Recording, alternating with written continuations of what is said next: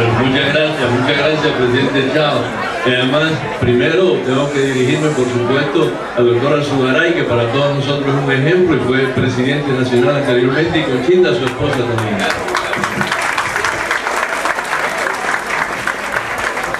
Este es un momento eh, realmente importante, no es simplemente eh, un juramento más. Esto lo que implica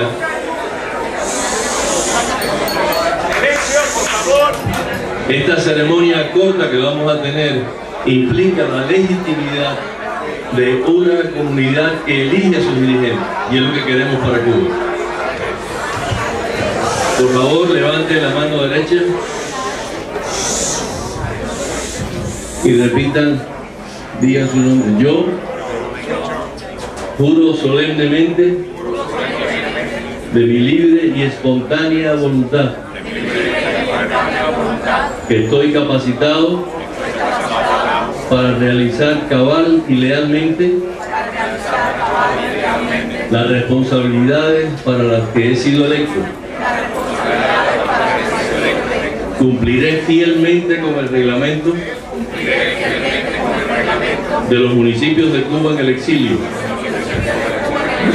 de la Asamblea Provincial de las Villas,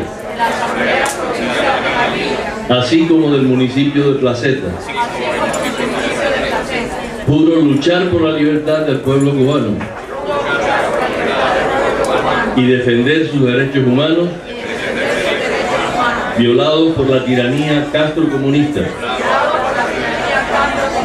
hasta alcanzar un Estado de Derecho que garantice al amparo de la Constitución de 1940 una república libre, soberana e independiente. Construir una nueva sociedad con el ejercicio de la verdad, la justicia y la solidaridad para vivir en paz y buscar la felicidad con todos y para el bien de todos. Así Dios nos ayude para cumplirlo. Y si no, Él y ustedes me lo demanden. Gracias.